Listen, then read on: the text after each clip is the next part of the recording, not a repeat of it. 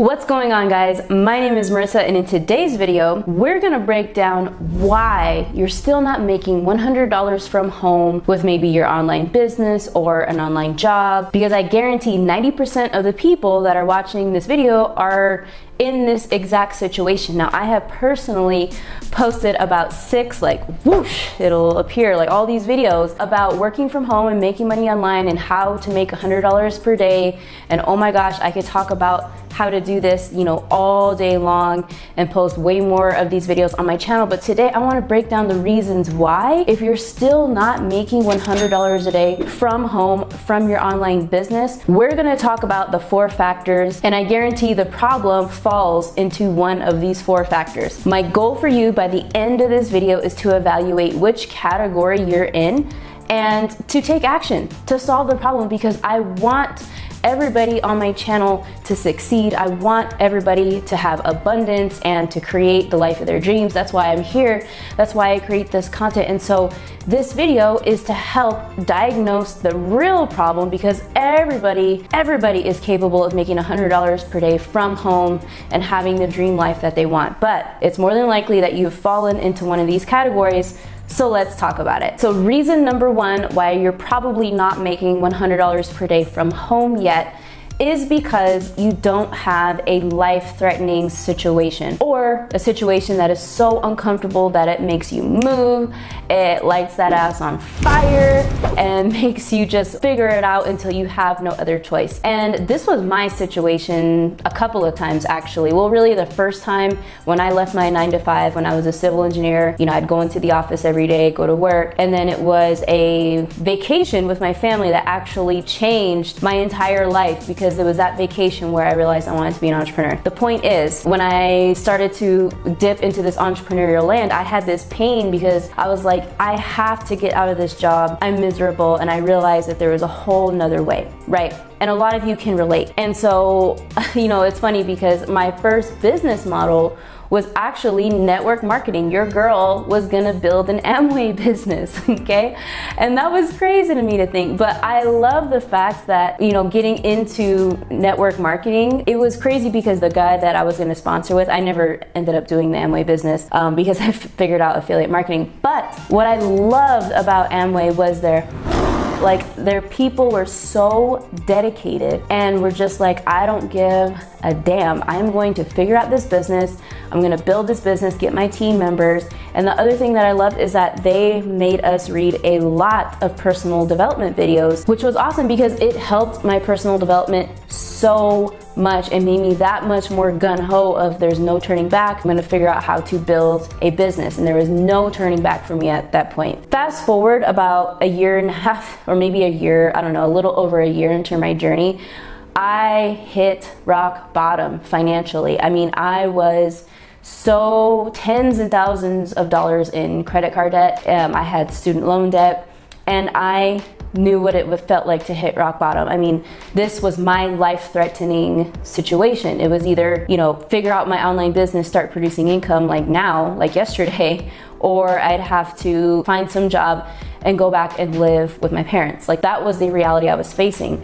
And so, and that was when I was transitioning like from quitting e-commerce, I was doing Shopify and drop shipping and trying to figure out what I was going to do next. And so that is what lit my ass on fire. I was working 16 hour days. Like I you know, put in those hours and I made sure I figured it out. And that's how actually my YouTube career started. But that's the thing, it's like I know so many people who are comfortable. They have, you know, six figure jobs or they're just cruising through life and they don't have anything that's pushing them something that's making them suffer and that's not forcing them to go into entrepreneurship. And so if they did, if for some reason like, you know, they knew they were going to lose their job or, you know, some other life external issue that was really, you know, extreme. Some of the richest billionaire entrepreneurs, multimillionaires, a lot of them started out homeless. I mean, homeless or in some upbringing there they grew up very poor and their circumstances and their environment was just extreme for them and everything was pointing to them to not succeed.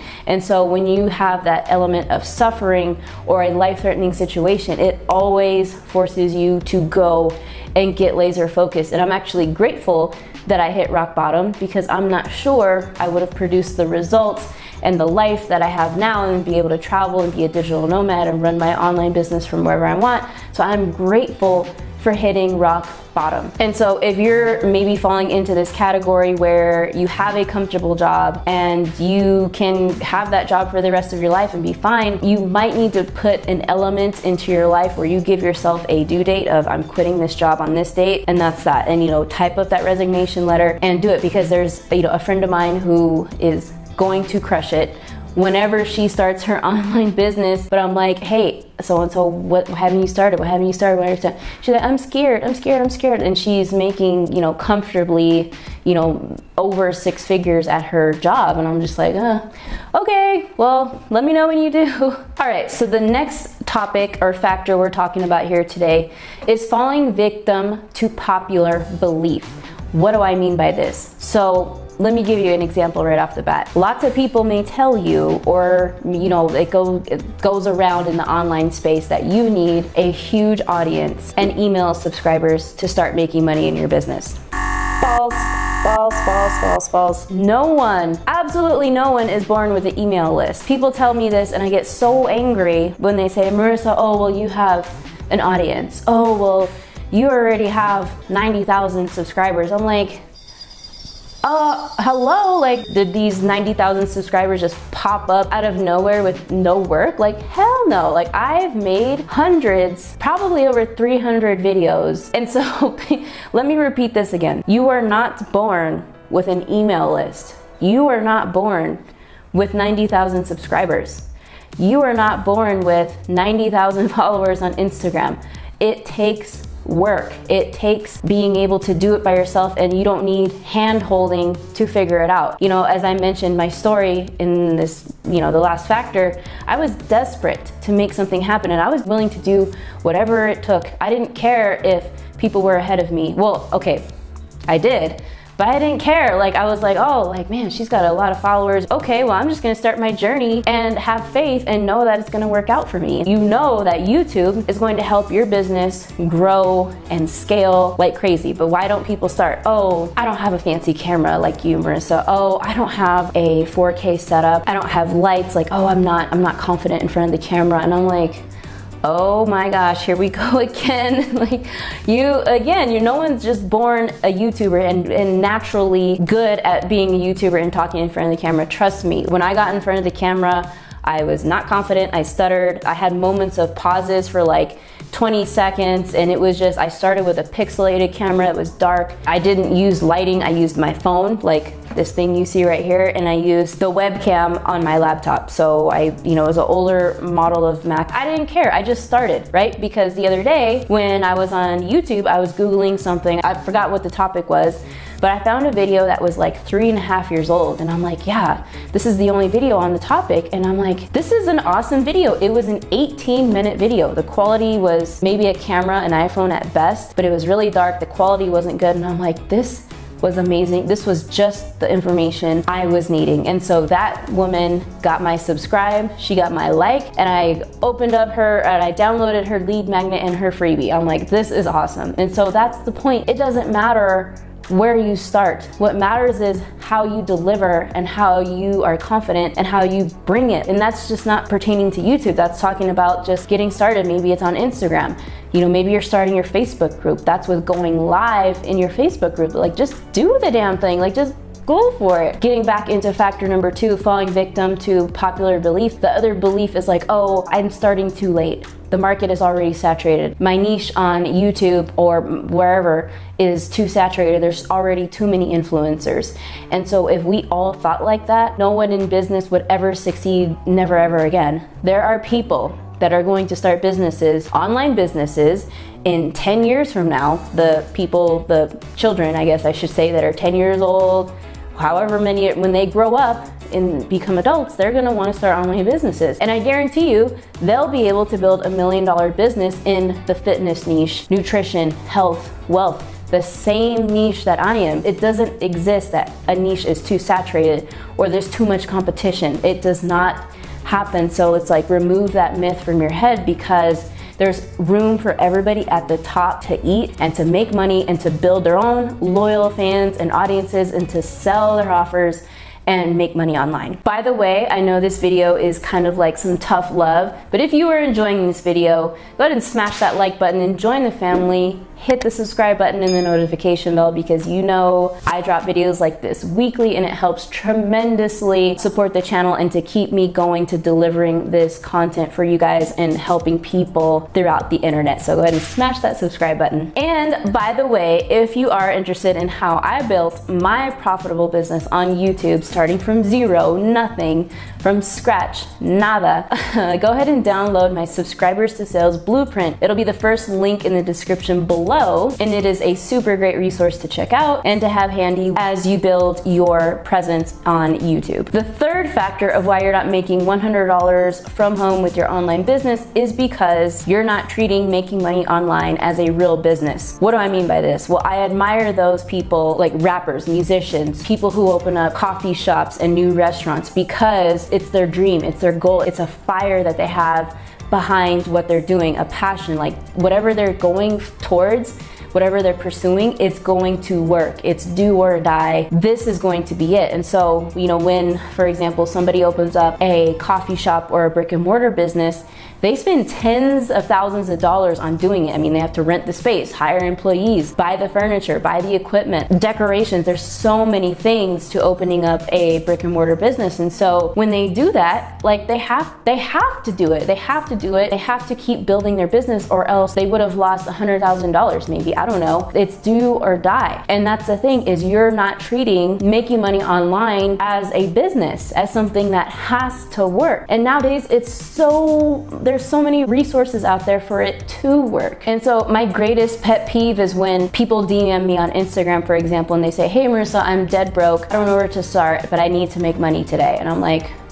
I, I, literally get this message probably about once a day. I see I see it pop up and I see the message coming through and I automatically delete it. Why? Because it frustrates me because that signifies to me that they're not willing to put in any work and they, they want a band-aid fix and it's kind of offensive because it means that they don't respect online business. You have to treat your online business as a real, like if you had a coffee shop business and if you're investing your life, your soul, your money into this business. And so it's just not fair when people expect that money just will come from no work or from, you know, making millions of dollars taking online surveys. It's just not real. I mean, a sub factor of all of this is shifting your mindset to accept the fact that you need a mentor or something to help you along your way, to help fast track you to where you want to be. Because I'm guarantee those people who are starting restaurants and coffee shops and, you know, more physical businesses, they probably hired somebody ahead of them to help them on their journey. Entrepreneurship is a team business. Like you help each other out. You help people get to the top. So if investing in a course,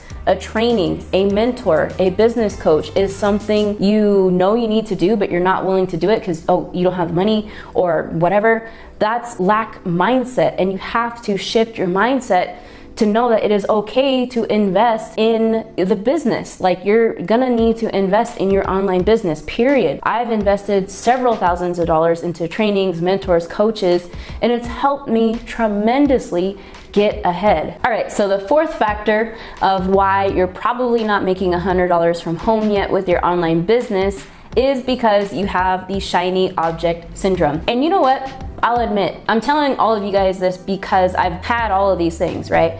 I've experienced a whole lot in these last three years. And yeah, I definitely had shiny object syndrome. Like I remember when I had my e-com store, with Shopify, you know, that's when, you know, Bitcoin and cryptocurrencies and all these new crypto coins were coming out.